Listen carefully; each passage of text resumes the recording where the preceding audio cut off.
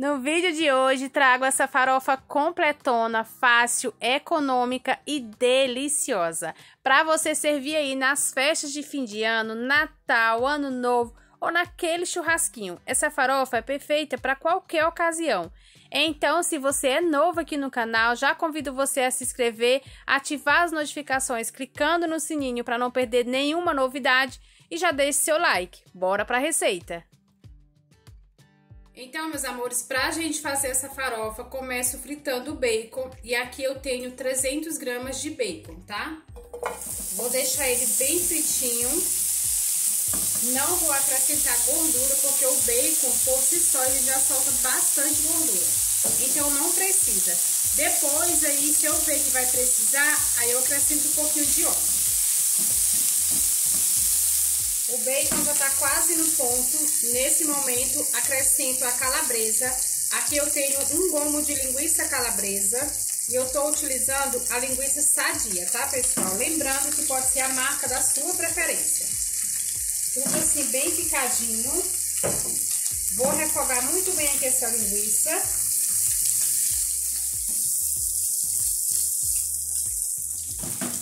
Linguiça já tá quase no ponto. Acrescento quatro dentes de alho fatiado. Se você preferir cortar bem pequeno ou amassar também pode, tá, pessoal? Aí eu vou refogar muito bem aqui esse alho até ele ficar douradinho. Alho douradinho, vou acrescentar uma cebola grande picada e vou refogar muito bem essa cebola.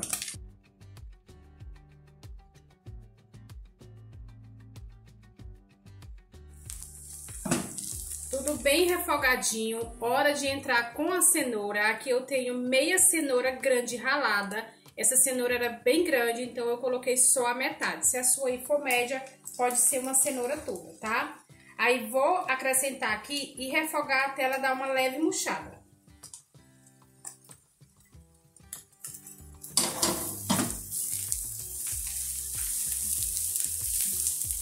A cenoura já deu uma leve murchada. Acrescento duas colheres de sopa de margarina.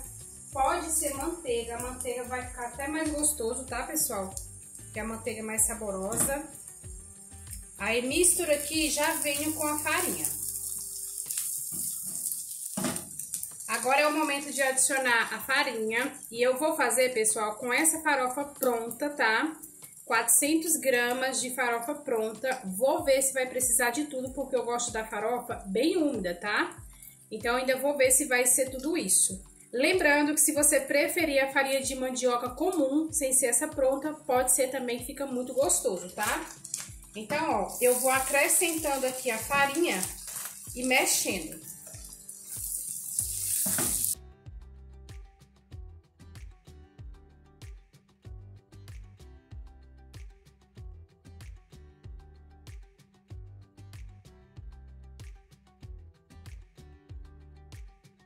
Pessoal, não acrescentei toda a farinha, sobrou um pouquinho, ó, tá vendo? Porque como eu falei pra vocês, eu gosto da farofa bem úmida. Então, eu não acrescentei tudo. Aqui, eu vou ficar mexendo, vou baixar o fogo e vou dar uma leve torrada nessa farofa, tá? Não pode deixar queimar, porque senão, gente, fica amargando. Vou acrescentar um pouquinho de sal, a quantidade é a gosto, tá? O bacon tem sal, mas é, eu vi aqui que precisa de mais um pouquinho de sal. Mas aí é a gosto, tá? Agora, pessoal, eu vou finalizar aqui com coentro e cebolinha. É opcional, se você não gosta, não coloca, tá? Aí pronto, gente, é só misturar e a farofa tá prontinha. Uma delícia, pessoal. Faz essa farofa aí, eu tenho certeza que vocês vão amar.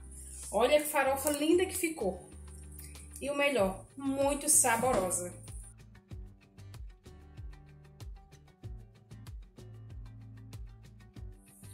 E olha só, meus amores, que farofa linda que ficou, gente. Olha isso.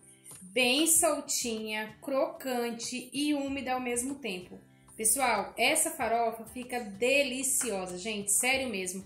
Faz essa farofa aí e depois me conta aqui. Pessoal, tenho certeza absoluta que vocês vão amar.